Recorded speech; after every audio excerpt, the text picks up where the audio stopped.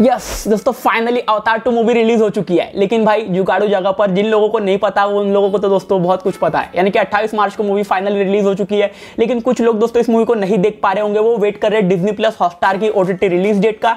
या फिर दोस्तों, वो कैसे देख पाएँगे? सारी चीज़ों के बारे में बात करेंगे कि इंडिया रिलीज़ डेट क्या है, हिंदी में क्या है, जानने के लिए वीडियो को एंटर देखते रहिए।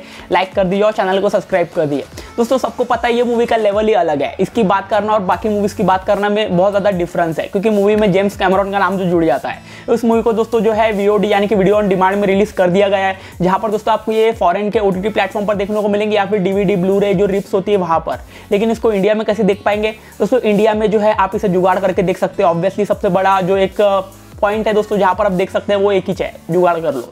लेकिन दोस्तों, जो लोग वेट कर रहे हैं डिजनी प्लस हॉटस्टार का तो बताया जा रहा है कि डिजनी प्लस हॉटस्टार पर ऑफिशियली आपको इतनी जल्दी देखने को नहीं मिलेंगी। लगभग एक से डेढ़ महीने का और वेट करना पड़ेगा। अप्रैल में भी आए, इसके भी कोई चांस नहीं है। हाँ मई के महीने में आपको पक्का ये मूवी डिजनी प्लस हॉटस्टार पर देखने को मिल सकती है।